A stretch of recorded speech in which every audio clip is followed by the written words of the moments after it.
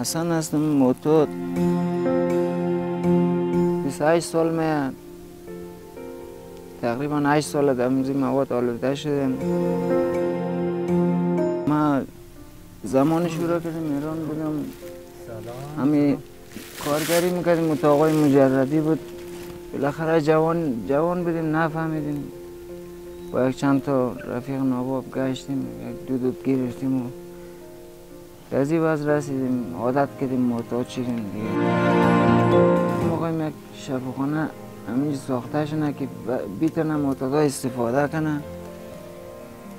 انشالله پاک شنه و در جامعه بر بگرده. نه خسارت در خانواده خود نه در خسارت در کسی دیگه بزنه. ما همین آرزو رو داریم. چون ما هم یک روزی پاک بدیم دیگه.